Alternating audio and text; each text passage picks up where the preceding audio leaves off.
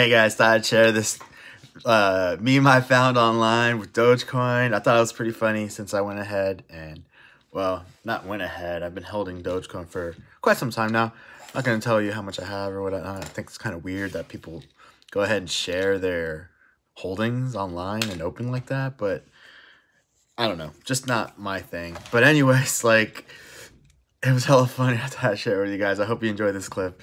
Um, I didn't create it. I found it on Reddit. Uh, the creator, I believe the credit, the creator's name's on the video. If not, I'll go ahead and like, I guess do a text overview on the on the clip.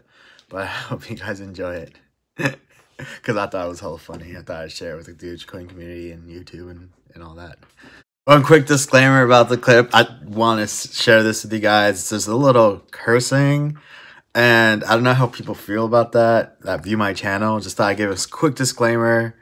Um, I don't know. If I I don't. I almost feel like not sharing it, but I think it's just hella funny. People should watch it. So, yeah. Wash yourself, man. I retired. What will happen to your friend?